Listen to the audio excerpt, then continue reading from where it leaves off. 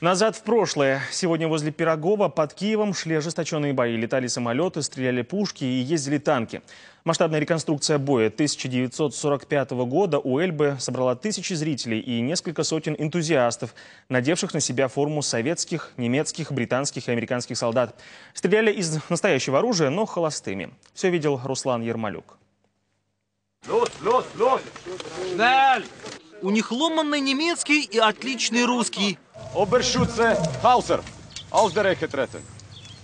Вы ночью отличились, пленив красноармейского лазутчика. Позвольте вас премировать пяти дополнительными патронами. Ферюкинсглит. Виталий в прошлом милиционер, а сегодня он немецкий офицер. Командует целой ротой солдат. Они долго готовились к этому сражению, сами шили форму и покупали знаки отличия. Достаточно дорогое удовольствие, то есть если вам нужно конкретно в суммах, ну где-то, наверное, надо стартовать там от 5000 гривен. Табельное оружие и патроны немецкие и советские солдаты получают с паспортом и под роспись у киношников. Оружие у нас не настоящее, оно выдается киностудии Довженко. Это оружие под холостой патрон. Прямо в тылу у врага появляются всадники. Российские реконструкторы на украинских лошадях объезжают территорию. В данном случае мы, корейская разведка пехотного полка в наступлении, обеспечиваем разведку, обнаружение противника и после боя преследование его. Лагерь красноармейцев расположился на опушке леса всего в сотне метров от немецких позиций. Вот отличники стрельбы, пулеметчики проверяют свое оружие. Сейчас мы работаем на пулеметах системы «Максима». Это одно из самых любимых э, советскими солдатами оружий. Пулемет абсолютно безотказен, надежен в работе, высокоскорострелен.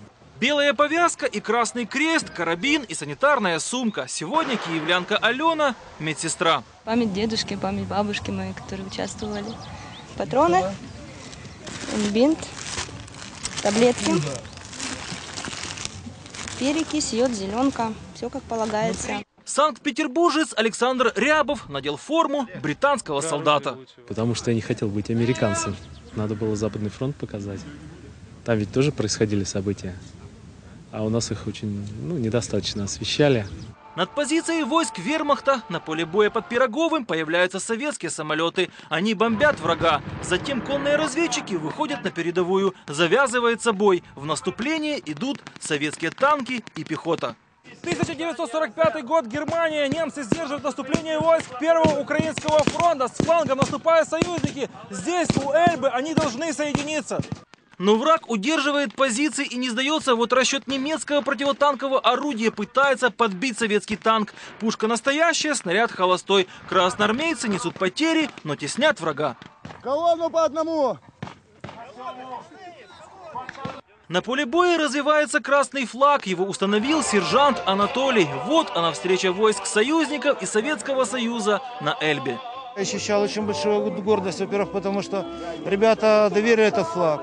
Но, наверное, самое главное, это все-таки символ, цвет и знамя победы.